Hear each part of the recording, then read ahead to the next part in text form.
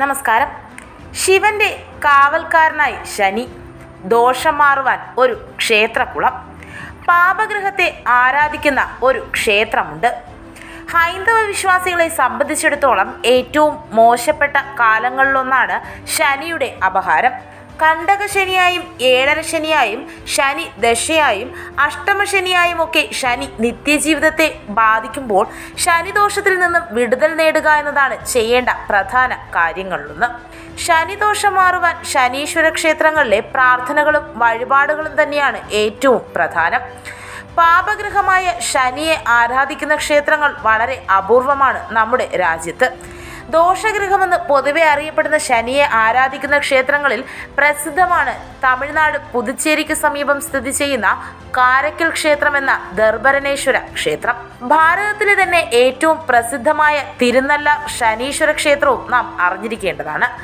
പാപഗ്രഹമായ ശനി ആരാധിക്കുന്ന ക്ഷേത്രമെന്ന നിലയിൽ വിശ്വാസികൾക്കിടയിൽ ഏറെ പ്രസിദ്ധമാണ് തമിഴ്നാട്ടിലെ തിരുനല്ല ശനീശ്വര ക്ഷേത്രം.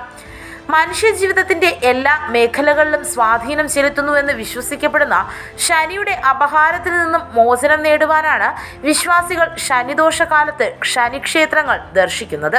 ശനിയുടെ നോട്ടം പതിഞ്ഞ് കഷ്ടകാലത്തിലായ മഹാരഥന്മാരുടെ കഥ പുരാണ ഇതിഹാസങ്ങളിൽ നാം കണ്ടിട്ടുള്ളതാണ്. അതുകൊണ്ട് തന്നെ ശനിയുടെ ദോഷത്തിൽ നിന്നും എത്രയും വേഗത്തിൽ രക്ഷ നേടുക എന്നതാണ് വിശ്വാസികൾ ഇതിന് പരിഹാരമായി കാണുന്നത്. തിരുനെല്ലാർ എന്ന പേര് നള മഹാരാജാവുമായി ബന്ധപ്പെട്ട ഐതിഹ്യത്തിൽ നിന്നാണ് പ്രദേശത്തിന് ലഭിച്ചതെന്നാണ് കരുതപ്പെടുന്നത്. നളൻ ശനിയുടെ മോശം ഫലങ്ങളിൽ നിന്ന് വിടുവിക്കപ്പെട്ടത് ഇവിടെ എത്തി കാരുണ്യം വിളിച്ചപേക്ഷിച്ചാണ് എന്നാണ് വിശ്വാസം. ഇവിടെ അരു എന്ന വാക്ക് സുഖപ്പെടുത്തുന്നതിന് എന്നാണ് സൂചിപ്പിക്കുന്നത്. ദൈവകൃപയിലൂടെ ശനിയുടെ പിടിയിൽ നിന്ന് നളനെ വീണ്ടെടുത്ത സ്ഥലമാണ് ഇതെന്നാണ് വിശ്വാസം. പ്രധാന പ്രതിഷ്ഠയായ ദർഭരനേശ്വരനായി ശിവനെയാണ് ഇവിടെ ആരാധിക്കുന്നതെങ്കിലും ക്ഷേത്രം പ്രസിദ്ധമായിരിക്കുന്നത് ശനിയുടെ സാന്നിധ്യത്തിലാണ്. നവഗ്രഹ സ്ഥാനമാണ് ശനിക്ക് ഇവിടെയുള്ളത്. ഓരോ രണ്ടര വർഷം കൂടുമ്പോഴും സംഭവിക്കുന്ന ശനിയുടെ ഒരു രാശിയിൽ നിന്നും അടുത്ത രാശിയിലേക്ക് ശനി പോകുന്ന സമയത്ത് ആയിരക്കണക്കിന് ആളുകളാണ് ഈ ക്ഷേത്രം സന്ദർശിച്ച് ദോഷങ്ങളിൽ നിന്നും മുക്തി നേടുവാനായി എത്തുന്നത്. ശനിയുടെ അപഹാരം മൂലം കഷ്ടത അനുഭവിച്ചിരുന്ന നളമഹാരാജാവിന് അതിൽ നിന്നും മോചനം ലഭിച്ചത് കാരക്കൽ ശനീശ്വര ക്ഷേത്രത്തിലെത്തി പ്രാർത്ഥിച്ചപ്പോഴാണെന്നാണ് വിശ്വാസം. ശനിയുടെ അപഹാരത്താൽ കാലങ്ങളോളം നളരാജാവ് പറഞ്ഞറിയിക്കാനാവാത്ത പ്രയാസങ്ങൾക്ക് വിധേയനായിരുന്നുവെന്നാണ് പുരാണങ്ങൾ പറയുന്നത്. രാജ്യം നഷ്ടപ്പെട്ടതും ഭാര്യയിൽ നിന്നുള്ള വേർപെടലും ജീവിത സാഹചര്യങ്ങളുടെ മാറ്റവും ദാരിദ്ര്യവും കഷ്ടപ്പാടുമുള്ള ജീവിതമെല്ലാം ആയിരുന്നു നളമഹാരാജാവിന് ശനിയിൽ നിന്നും ലഭിച്ചത്.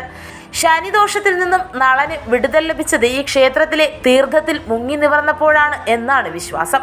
അതിനാൽ ഈ തീർത്ഥം അറിയപ്പെടുന്നത് തന്നെ നളതീർത്ഥം എന്ന പേരിലാണ്. ശനിദോഷമുള്ളയാൾ ഇതിൽ മുങ്ങിക്കുളിച്ചാൽ കർമ്മദോഷങ്ങളെല്ലാം വിട്ടുപോകുമെന്നാണ് മറ്റൊരു വിശ്വാസം. മുൻപ് പറഞ്ഞതുപോലെ ശിവനാണ് ഇവിടുത്തെ പ്രധാന പ്രതിഷ്ഠ. ശനിയെ ശിവന്റെ കാവൽക്കാരനായാണ് ഇവിടെ കരുതുക.